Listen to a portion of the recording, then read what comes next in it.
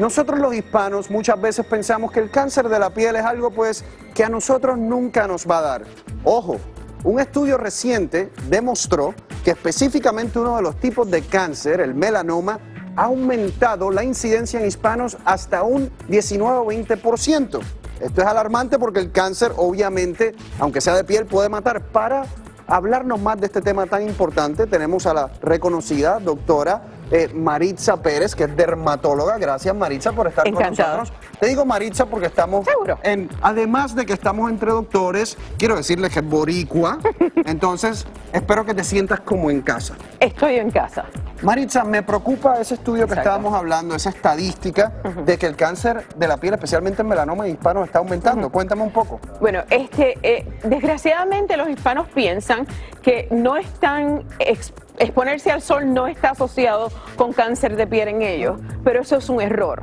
Eh, todos, cualquier color de piel puede estar con exposición al sol, acumular mutaciones y desarrollar melanoma. Y básicamente lo que está diciendo la, la doctora, en las mutaciones, ¿verdad, Maritza? Son esos cambios que ocurren en el ADN que se van acumulando y eventualmente son los que nos causan cáncer. Exacto. Ahora, yo quiero que tú nos expliques y para eso quiero que pase una de las enfermeras que me traiga eh, el melanoma, esta piel. Ajá. Imaginemos, Maritza, que esto es la piel, Ajá. esto que ven aquí es, un melanoma, melanoma. y entonces, ¿qué es lo que puede suceder?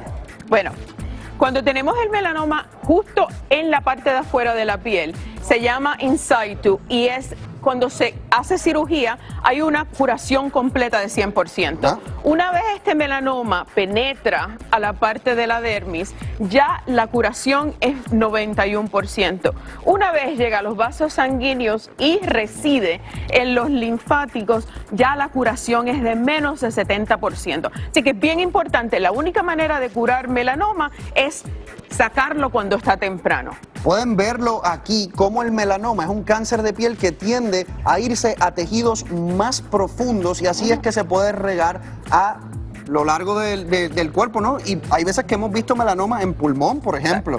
El melanoma es uno de los cánceres más metastásicos. El melanoma puede metastasizar hasta la placenta cuando una mujer está encinta. Imagínense. Bueno, muchas gracias, pero ven por aquí, Maritza, ven conmigo, porque queremos enseñarle a las personas, mírate hacia acá, queremos enseñar a las personas cómo diferenciar, porque esta es la pregunta, entre un lunar normal que todos tenemos y las características del melanoma. Cuéntanos. Ok.